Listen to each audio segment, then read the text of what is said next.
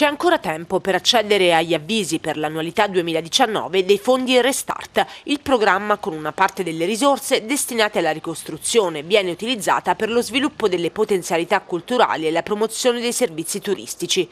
I bandi sono pubblicati sul sito del Comune dell'Aquila. I termini entro i quali sarà possibile presentare le domande per due filoni, il B2A e il B2B e il C, è il 30 settembre del 2019, mentre la scadenza per i filoni A1 e A2 è fissata per il 15 ottobre prossimo.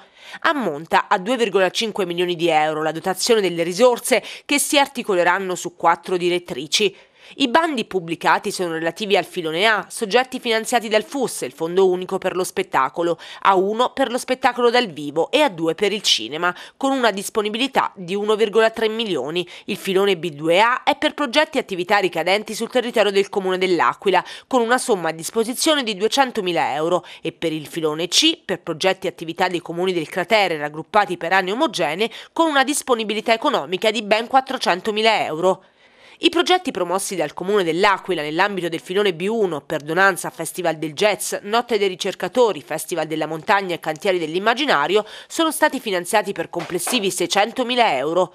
Sono stati inoltre riaperti anche i termini del filone B2 e B, incubatore di creatività, che prevede due fasi, formazione e progettazione e successivamente, dopo la selezione, la realizzazione dei migliori progetti di attività.